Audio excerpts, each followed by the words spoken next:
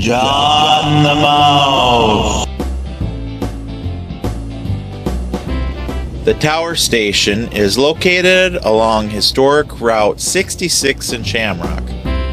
Built in 1963 at the cost of $23,000. This building got its start in the dust when John Nunn drew his idea for the station on the ground with an old nail. Plans were later given to an architect who finally set the wheels in motion. With its art decourse detailing the two towers, the building was designed and constructed to be three separate structures. The first was the Tower Conoco Station, named for the dominating four-sided obstacle rising from the flat roof and topped by a metal tulip.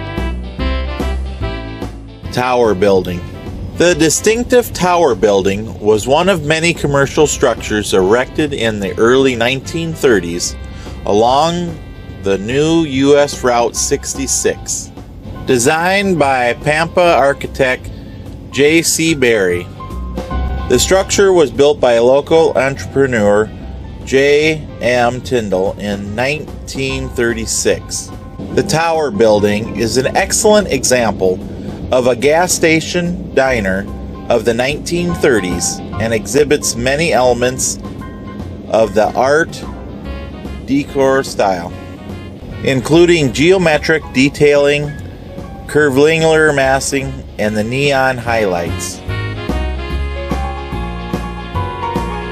The second was U Drop Inn Cafe, which got its name from a local schoolboy's winning entry in a naming contest.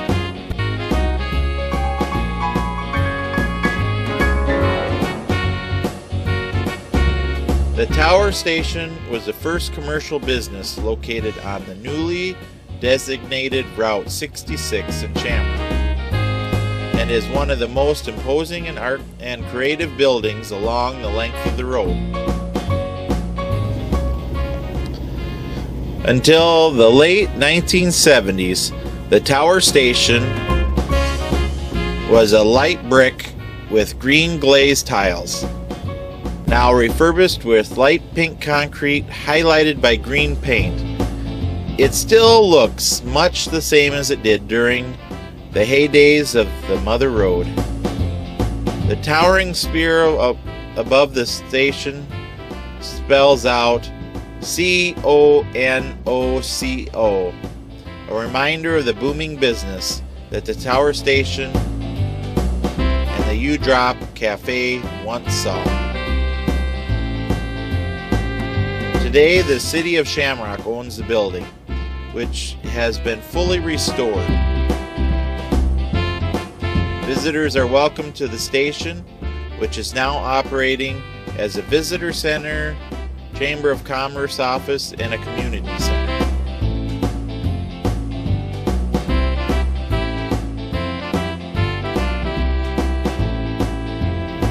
Visitor Information Center in Shamrock, Texas.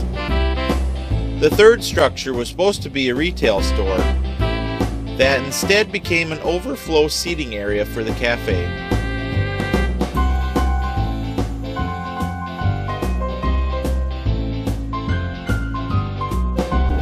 In 2006, animated film Cars, the cartoon village of Radiator Springs was based on multiple real U.S. Route 66 landmarks, from Peach Springs to Baxter Springs.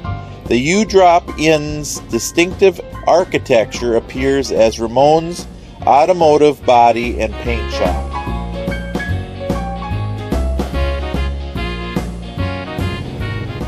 On the back side of the building, there's a few plaques for Bill Mack, Shamrock's Midnight Cowboy. Then, when he started broadcasting on satellite radio, he became known as the Satellite Cowboy.